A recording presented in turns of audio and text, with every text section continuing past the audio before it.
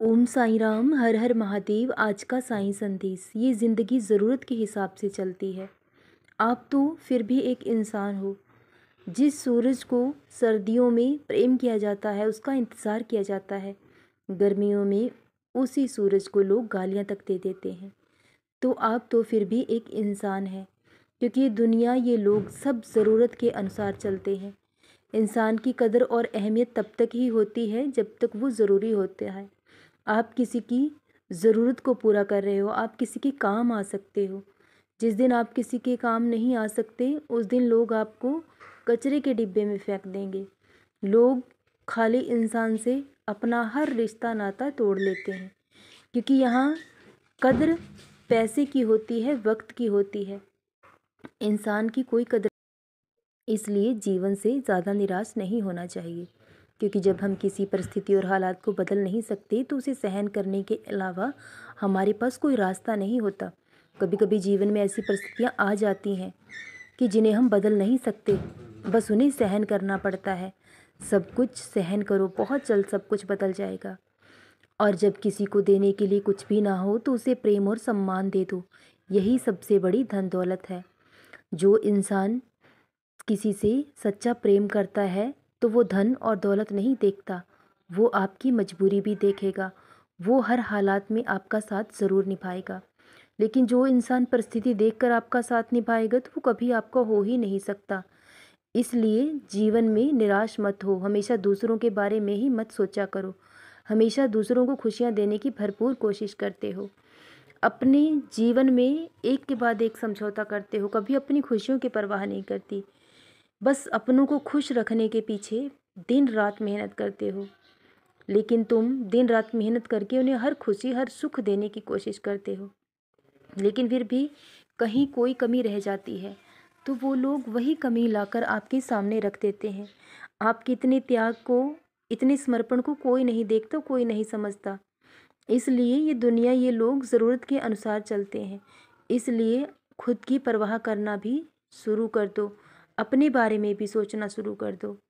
खुद भी बन संवर कर रहा करो, अच्छे तरीके से रहा करो, क्योंकि तुम्हारे बाबा को अच्छा लगता है जो तुम अच्छे से रहते हो। कभी खुद का ख्याल नहीं रहते। एक कमरे में खुद को बंद करके रख लिया है। उस कमरे से बाहर निकलो। बाहर की दुनिया को देखो। इस प्रकृति को देखो, जो बहुत सुंदर है, बहुत खूबसूरत है। और सब कुछ उस ईश्वर ने बिना किसी शुल्क के दिया है। एक पैसा आपको खर्च नहीं करना पड़ता। जो कुदरत ने आपको खूबसूरती दी है, सुंदरता दी है, खर्च करना पड़ता है बनावटीपन के लिए। तो ये दुनिया, ये लोग तो दिखावे के पीछे ही भागते हैं। जितना ज़्यादा दिखावा होगा, उतनी ज़्यादा इंसान की कदर होगी। लेकिन भगवान कभी आपका दिखावा नहीं देखते। वो सिर्फ़ और सिर्फ़ आपकी नीयत देखते हैं। जैसी इंसान की नीयत होती है, वैसी ही बरकत भी होती है। तो आप खुश रहो, क्योंकि ये जीवन है। ये हमारे हिसाब से नहीं चलता, हमें जीवन के हिसाब से चलना पड़ता है। जैसे ज़िंदगी हमें चलाती है, हमें वैसे चलना पड़ता है। तो बहुत जल्द सब कुछ बदल जाएगा, और जो आपका है, उसे चाहकर भी कोई आपसे छीन नहीं पाएगा। क्योंकि जो ईश्वर ने आपके भाग्य में लिख दिया है, उसे कोई चाह कर भी मिटा नहीं सकता। और आपकी हर खुशी, हर सपना ज़रूर पूरा होगा। सब कुछ मिलेगा आपको, बहुत जल्द मिलेगा। जितना आपके भाग्य में लिखा है, वो तो आपको मिलेगा ही। लेकिन जो आपके भाग्य में नहीं भी लिखा है, वो भी आपको ज़रूर मिलेगा। बस हिम्मत और विश्वास के साथ आगे बढ़ते रहो। क्योंकि जो इंसान निरंतर आगे बढ़ता है तो वो एक दिन अपनी मंजिल तक ज़रूर पहुँच जाता है। लेकिन जो इंसान लोगों के डर से थक कर अपना रास्ता बदल लेता है तो वो हमेशा उन लोगों के नीचे दबकर रह जाता है। और वो लोग हमेशा आपको अपने कहे अनुसार चलाने की पूरी कोशिश करेंगे। आप हमेशा दूसरों पर निर्भर होकर रह जाएँगे। अगर आप सही हैं, आप जानते हो कि आप बिल्कुल सही हो तो निडर होकर अकेले चलो, बिना किसी के साथ के। क्योंकि जब इंसान जानता है कि वो सही है उसने कुछ गलत नहीं किया तो निडर होकर जीवन में आगे बढ़ना चाहिए। भगवान आपका साथ ज़रूर देंगे और बहुत जल्द ये वक्त और हालात भी बदल जाएगा। जिस दिन वक्त और हालात बदला, उस दिन उन लोगों के सोच और विचार भी बदल जाएँगे। इसलिए दुनिया की ज़्यादा चिंता परवाह नहीं किया करते। परवाह करनी है तो खुद की करो, क्योंकि आप यहाँ अपना जीवन जीने के लिए आए हैं, अपने सपनों को पूरा करने के लिए आए हैं, ना कि दूसरों का मनोरंजन करने के लिए। इसलिए लोगों को कितना ही खुश करने की कोशिश करो, वो कभी आपसे खुश नहीं होंगे।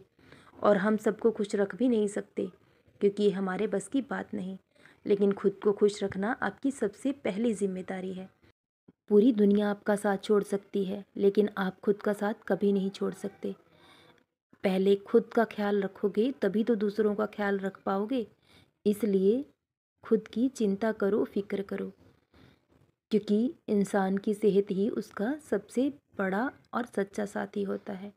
अगर एक बार सेहत ने साथ छोड़ दिया तो पूरी दुनिया आपका साथ छोड़ देगी। इसलिए अपना ख्याल रखो, समय पर खाओ, समय पर पियो, क्योंकि दुनिया को कोई फ़र्क नहीं पड़ता है कि आप किस हाल में ज़िंदा हो। कोई आपसे पूछने नहीं आएगा कि आपने खाना खाया या नहीं खाया। एक माता पिता ही ऐसे हैं जो आपसे निस्वार्थ भाव से प्रेम करते हैं। इसलिए अपने माता पिता के हर सपने को आपको साकार करना है और आप उनका नाम भी ज़रूर रोशन करोगे। तो ये पूरी दुनिया देखेगी, ये पूरे लोग देखेंगे, क्योंकि माता पिता हमारी हज़ार गलतियों को माफ़ करके भी हमें अपनाते हैं, हमसे प्रेम करते हैं। इसलिए अपने माता पिता के सपने को आपको पूरा करना है।